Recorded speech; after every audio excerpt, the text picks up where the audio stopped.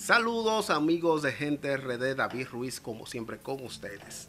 Eh, hoy queremos iniciar una nueva etapa de podcast en lo que ustedes y nosotros eh, compartiremos comentarios, análisis y, e impresiones de lo que sucede a nivel nacional sobre esas informaciones que son tendencia.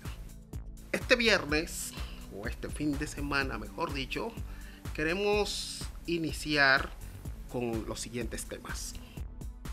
Bolívar Valera pasa al PRM, Santiago Matías versus Luisín Jiménez y Miki López contra comunicadores. Pareciera que esta semana es la semana de los enfrentamientos.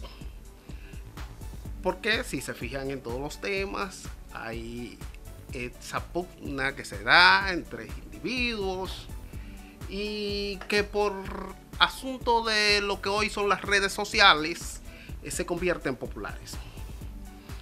Comencemos con el primer tema. El reconocido comunicador Bolívar Valera eh, este viernes se juramentó en el PRM. Esta juramentación se llevó a cabo, claro, en Santo Domingo Este, comunidad de la que él es diputado. Y allí se han creado diversas expectativas y debates sobre por qué un hombre que se decía que nunca abandonaría el redil de Danilo Medina, hoy en día se presenta como un disidente más del Partido de la Liberación Dominicana.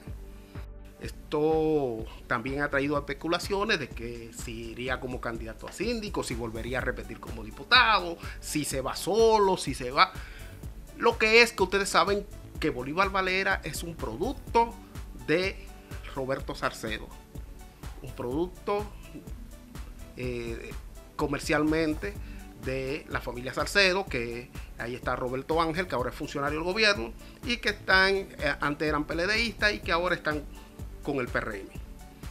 Veremos qué pasa. Eh, yo lo que sé que Bolívar Valera tendrá que hilar muy fino, muy fino, su trayectoria ahora en adelante, porque muchos lo van a ver como un ingrato, como un desleal y como un tránsfuga. Que se cuide de eso. Y ya que mencionamos a Roberto Salcedo, eh, hubo un sonido también, una pugna con él y con eh, Domingo Jiménez, quien aspira a la alcaldía del Distrito Nacional. Pero eso es un tema que nosotros vamos a, tratar luego, ya que la respuesta de Domingo ha sido un poco opaca y los planteamientos de Roberto han sido muy, muy duros en contra de quien fuera secretario general de su gestión en el Ayuntamiento del Distrito Nacional. Prometo que hablaremos luego de eso. En el caso de Santiago Matías y Luisín Jiménez, a raíz de todo el boli, eh, se han armado una discusión y una cosa en redes sociales. Entonces, dice Luisín Jiménez, desde hace días estoy escribiendo una película. Se titula El destino de un enano en tierra de gigantes. Eso es una alusión directa o indirecta hacia Santiago Matías, quien le responde, yo también estoy escribiendo una que se llama El millonario raro que tiene que cobrar un cheque en todos los gobiernos para encontrarle sentido a la vida.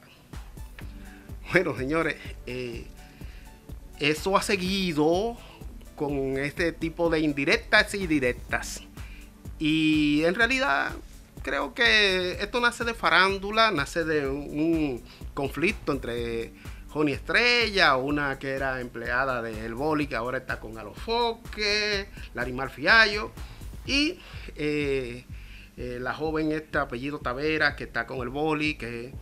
Entonces, eh, son nimiedades que se convierten en noticias gracias a que la tendencia de las redes sociales todo lo acaparan. Pero ojalá que todos grandes hombres en un momento determinado unan esos talentos que sí tienen para poder hacer algo positivo de, este, de, este, de esta maraña de intriga y de, y, de falta de quereres. Miki López. Miki López, todos saben que es un empresario de Santiago que ha sido señalado por negocios turbios, narcotráfico, evasión de impuestos, falsificación de documentos y cuya esposa es diputada Eh, su esposa también ha sido señalada por narcotráfico, se llama Rosa Amalia Pilarte. Entonces, eh, hay comunicadores que en sus comentarios han tenido que mencionarlo porque es algo que el Ministerio Público lo ha expuesto. Eh, está el caso de Pedro Jiménez y de este muchacho Sergio Carlos del Antinote. Bueno, pues él, en el caso de Jiménez le mandó una amenaza directa a la que el comunicador ha tenido que salir a denunciarla porque eh, él entiende que su vida está en peligro y que esto pudiera devenir en un atentado en su contra. Entonces, eh, él ha recibido la solidaridad del Ministerio Público y de sus colegas, pero eh, ahí, ahí, queda, ahí queda una amenaza latente que tendría que ser investigada y eh, llamada a capítulo para evitar que un hombre valioso como Pedro Jiménez eh, se vea, eh, sufra un accidente o le pase algo. Usted sabe cómo es este país. En el caso de Sergio Carlos, Sergio Carlos también publicó una llamada que le hizo Miki López y a lo que él define como una serie de amenazas y actos de, de hostigamiento perpetrado en su contra por Miguel López, conocido como Miki, a través de mensajes directos en Instagram, llamadas telefónicas. Según Carlos, Miki López no solo lo insultó de manera grosera, sino que también lo amenazó. En sus propias palabras, Carlos afirmó, me contactó para, aparte de insultar y amenazar, emplazarme a dejar de hablar mierda, simplemente por haber compartido información que la prensa escrita y otros medios han cubierto hace tiempo. Sergio Carlos respondió de lo que lo que sucede a él o a su familia o a alguno de los miembros de su equipo de trabajo del Antinoti es culpa de Miki López.